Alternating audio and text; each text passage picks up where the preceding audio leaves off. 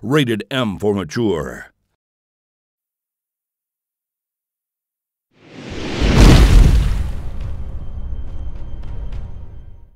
In a distant world,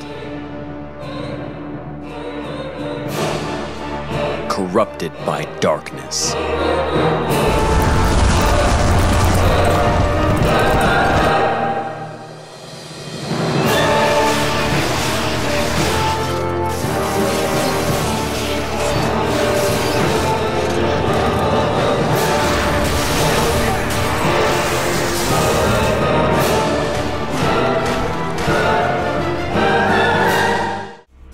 Story of 99 Nights 2 takes place in a distant world filled with miracles and magic, a world teeming with life, ruled over by vast kingdoms, until the Lord of the Night shattered the peace and plunged the land into darkness. This is where our story takes place.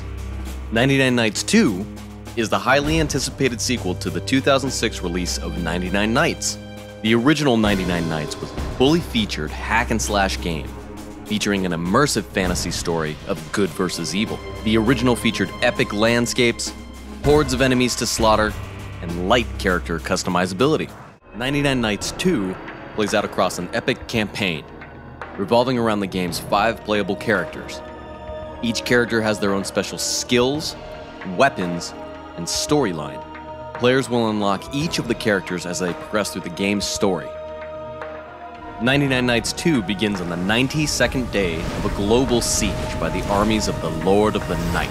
It is here that a lone knight named Galen single handedly defeats a massive portion of the Dark Army. On Galen's journey, he will cross paths with Sephia, the elven queen who wields the power of the wind,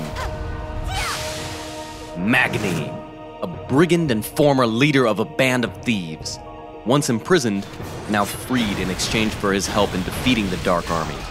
Zazi, the guardian of the Dark Elves, and first to fight the onslaught of the Lord of the Night. And Levv, a goblin assassin, bound by an oath from a dying emperor to help the defenders of Orphea Castle and regain the Orb of Darkness.